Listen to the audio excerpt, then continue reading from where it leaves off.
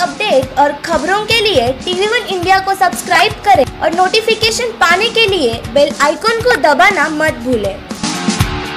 नवी मुंबई में शराब की दुकानों को खोलने की परमिशन नहीं एनएमएमसी आयुक्त एबी मिसाल का खुलासा, रेड जोन में जारी हैं पाबंदियाँ।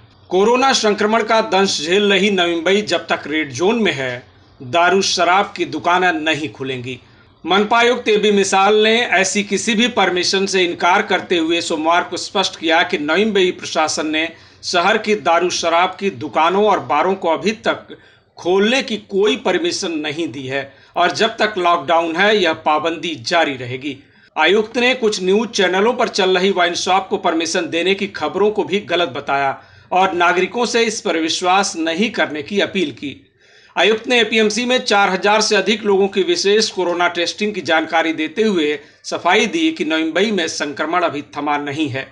आप भी सुनिए मनपायुक्त ने और क्या कहा। मुंबईसह नवी मुंबईसह एम एम आर एरियातील सर्व महापालिका या रेड झोनमध्ये असल्यामुळे लॉकडाऊनचे जे काही निकष आहेत यामध्ये कुठलीही शिथिलता देण्यात आलेली नाही.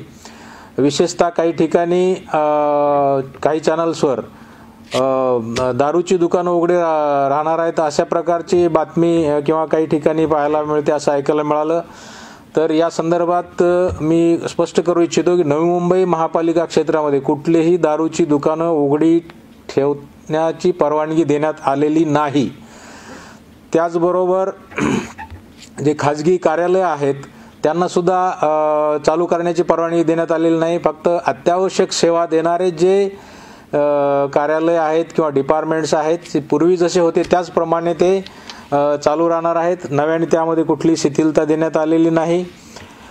आपल्याकडे आता एकूण पंच्याहत्तर हे कंटेनमेंट एरिया झालेले आहेत.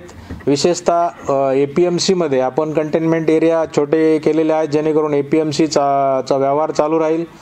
आज ए पी एम सीमधील सर्व कामगार जवळपास चार हजारपेक्षा जास्त कामगारांचे आज आपण विशेष पथक नेमून त्यांची पडताळणी स्क्रीनिंग केलेलं आहे.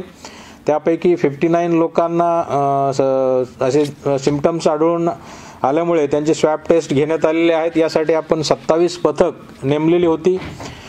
त्याचबरोबर जे व्यापारी ए पी एम सीमध्ये व्यापार करतात परंतु मुंबईमध्ये राहतात तर त्यांनी सुद्धा एकतर त्यांचं स्क्रीनिंग करून घ्यावं ताबडतोब.